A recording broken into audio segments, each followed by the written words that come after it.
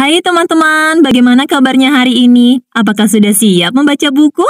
Kali ini kita akan membaca buku yang berjudul Menyelam. Penulis dan ilustrator Rajiv A.P., penerbit Pratam Books, pembaca Siti Munawaroh.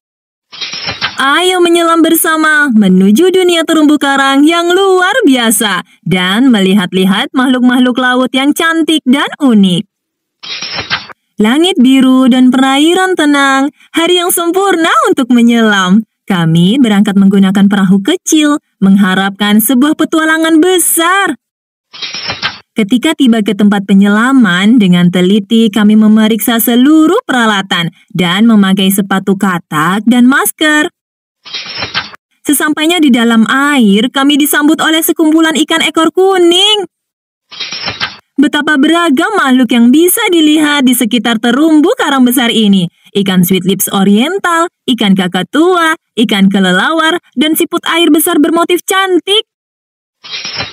Ikan trompet berubah warna agar dapat membaur dengan kawanan ikan yellow tang. Tapi kau pasti dapat menemukannya dengan mudah, bukan? Sebaiknya kita menjaga jarak dengan ikan lepu. Duri di punggungnya cukup beracun. Ikan badut ini menjaga rumah anemon mereka dengan saksama, tapi akhirnya mereka membiarkanku mengambil beberapa foto. Kami melihat belut murai honeycomb yang giginya sedang dibersihkan oleh dua ikan pembersih, dan sepasang ikan lain bahkan menggosok tangan kami. Ada pula ikan ayam-ayam dan landak laut. Kami bahkan melihat ikan kerapu karang dan gurita karang bermain petak umpet. Gurita memenangi permainan. Mereka pandai bersembunyi. Ikan pipa pun begitu. Dapatkah kau menemukan dua ikan pipa dalam gambar ini? Kami bertemu sepasang hiu karang yang beristirahat di dekat dasar laut. Mereka tidak berbahaya, jadi kami berenang mendekat untuk melihat lebih jelas.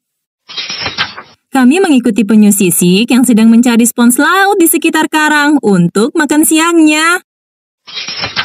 Saat kembali ke kapal, kami dikejutkan oleh ikan parimanta yang terbang mengarungi air dengan dua ikan remora di belakangnya. Dan ketika kami merasa penyelaman ini tidak mungkin dilanjutkan, kami melihat duyung sedang memamah rumput laut. Sungguh pengalaman yang luar biasa. Aku tak sabar ingin menyelam lagi.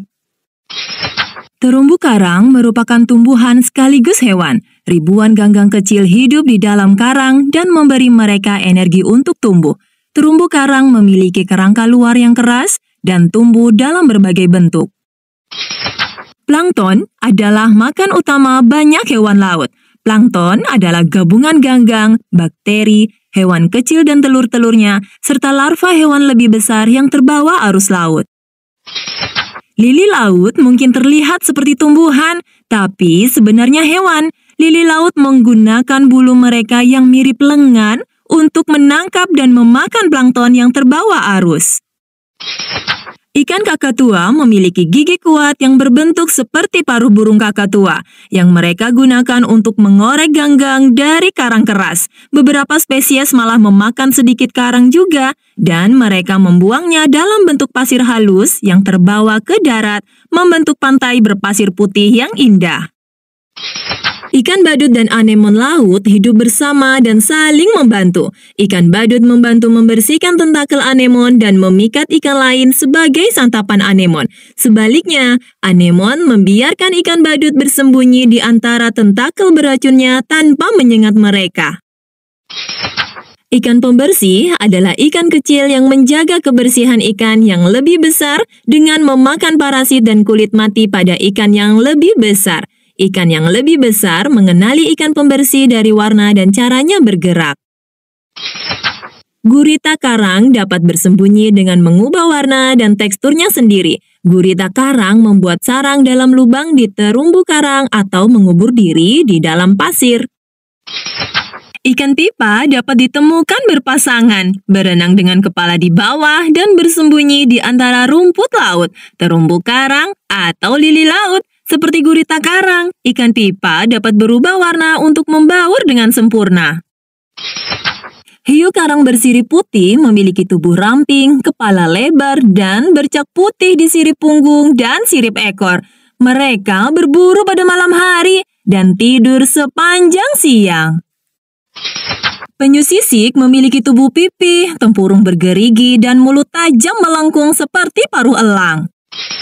Ikan parimanta merupakan ikan besar dengan sirip seperti sayap di kedua sisi tubuhnya. Sirip lebar ini membantu ikan parimanta berenang cepat di dalam air. Dari ujung ke ujung, panjang sirip beberapa ikan parimanta dapat mencapai 7 meter.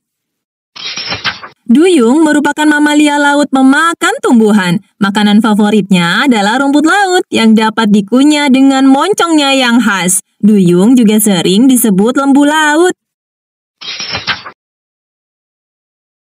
Terima kasih sudah bersama-sama membaca buku. Sampai jumpa lagi.